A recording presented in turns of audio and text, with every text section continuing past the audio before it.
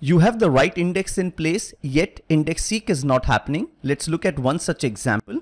In AdventureWorks 2016, there is a table person.person. Let's fire a simple query where you are filtering on first name. Let's go and execute. You will see that the query is highly selective. You're just returning six records out of probably 20,000 records. When you jump into the execution plan, to your surprise, you will see the optimizer decides to scan instead of seeking.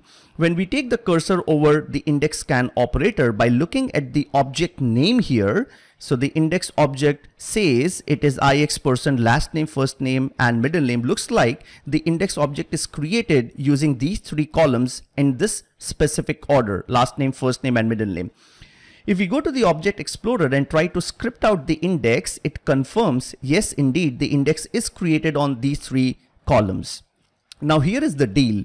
You cannot seek on first name if you're not seeking on last name. That's the rule of the optimizer. Now remember when you create indexes on multiple columns, traversing or searching will happen from left to right. So in order for you to seek on a specific column, you have to seek also on all the columns prior to that specific column. So remember that.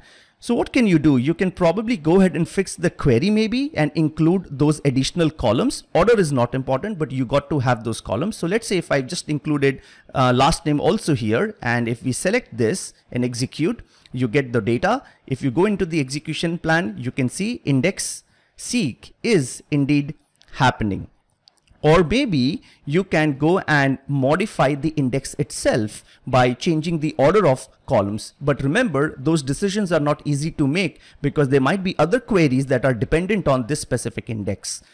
But then now you know what's going on inside the optimizer and then you can take corrective actions.